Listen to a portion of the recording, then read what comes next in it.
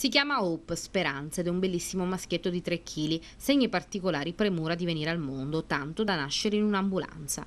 Una donna nigeriana, ospite del Cara di Mineo a Catania, ha partorito su un'ambulanza della Croce Rossa Italiana durante il trasporto in ospedale. È successo domenica intorno alle 6.30. La donna, che aveva chiesto aiuto dopo essersi accorta della rottura delle acque, è stata immediatamente soccorsa dai volontari della Croce Rossa con il prezioso aiuto di un medico catanese, Sebastiano Disma, che però è un anestesista e che per l'evento si è improvvisato ostetrico e ginecologo. La donna ha dato alla luce il suo primo figlio, che gode di ottima salute. Allora, ero di turno al Cara di Mineo, ero avevo finito la notte, erano le 7, il mio turno finiva alle 8 e mi viene questa ragazza di origine nigeriana che arriva lì, praticamente si toglie i pantaloni, si butta per terra disperata dal dolore.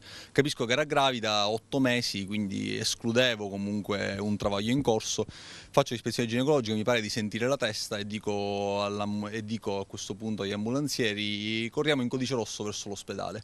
Pensavo di avere almeno un'ora di tempo, ho detto il policlinico è a 45 di distanza, Caltagirone è a 20-25, andiamo, ho detto direttamente al policlinico, almeno li conosco tutti, so come gestire la situazione. Dopo neanche 3-4 minuti che partiamo, la signora vedo che il travaglio è accelerato, vedo che si iniziano a intravedere i capelli, a questo punto ho messo i guanti, ho, senza fermare l'ambulanza, quindi continuando a correre in codice rosso, ho mantenuto il sangue freddo, ho messo i guanti, fatto una manovra, prendo la mano, ho afferrato collo e testa del bambino, girato come avevo sempre visto fare in quanto anestesista ma mai fatto praticamente e sono riuscito a, a tirar fuori il bambino. Questo bel maschietto che si chiama Hope Speranza? Sì, sì, si chiama Hope probabilmente perché il marito della signora che è arrivata qui a fine giugno ad Augusto è sbarcato, è morto durante il, purtroppo durante la traversata e quindi probabilmente la speranza della donna di un futuro migliore, di qualcuno che sia qui con lei visto che altrimenti sarebbe sola, senza nessuno.